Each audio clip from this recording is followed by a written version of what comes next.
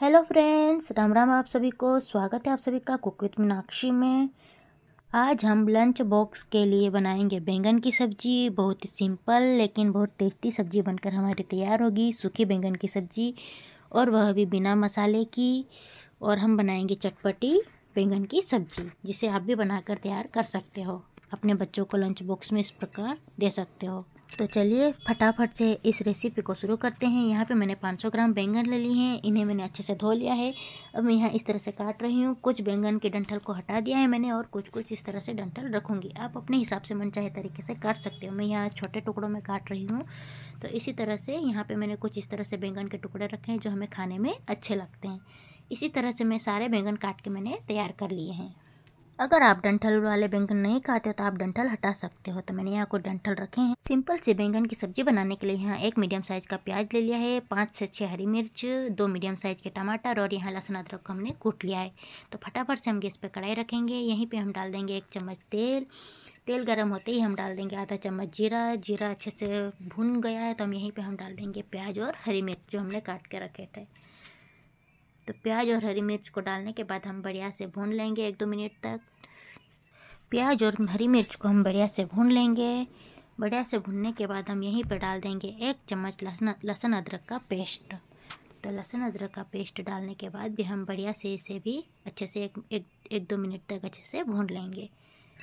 साथ ही लहसुन को हम यहाँ पे मीडियम फ्लेम पे भून लेंगे बढ़िया से।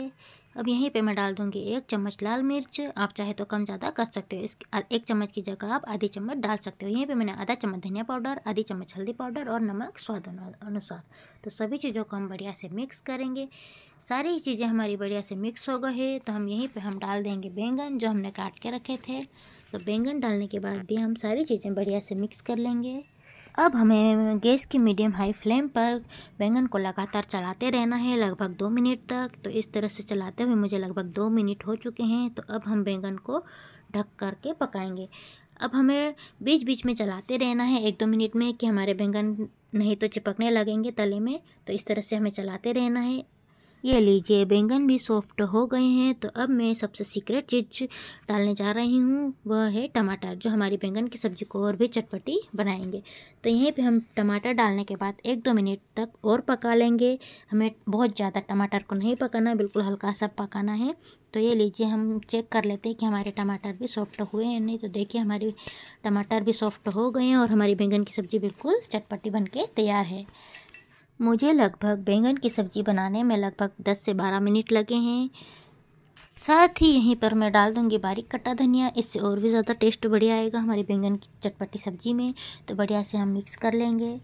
और आप भी बनाइए मेरी स्ट्रिक से बैंगन की सब्ज़ी चटपटी, और आप इसे मक्का की रोटी या बाजरे की रोटी के साथ भी इंजॉय कर सकते हैं, क्योंकि मक्का की और बाजरे की रोटी के साथ बहुत ज़्यादा टेस्टी लगती है बैंगन की सब्ज़ी। आप भी बनाइए इस तरह से, आपके बच्चों को बहुत पसंद आएगी।